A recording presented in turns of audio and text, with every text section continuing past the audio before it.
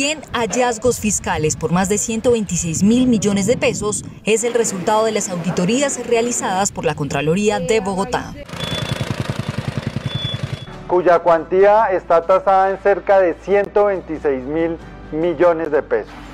Adicionalmente, también se determinaron beneficios de auditoría por un monto cercano a los 76.600 millones de pesos.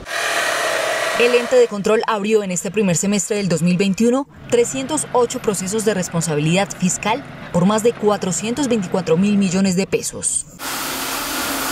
Buscaremos darle celeridad a estas actuaciones procesales para generar los resultados que la ciudad está esperando.